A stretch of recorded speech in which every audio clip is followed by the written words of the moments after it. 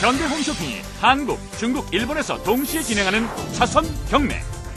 동아시아 차선 대바자. 대한민국의 톱스타들이 한자리에 모였습니다. 따뜻한 사람들의 모임 따사봅니다.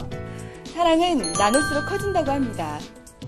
저희들이 사랑이 넘치는 12월의 아름다운 추억을 만들기 위해서 소년소녀 가장들을 돕는 자리를 현대 홈쇼핑 H몰에서 마련했습니다. 네, 저희들의 추억이 가득 담긴 애정품도 구경하시고요. 이웃사랑도 실천하세요. 소년 소녀 가장 돕기 자선 바자 많이 참여해주세요.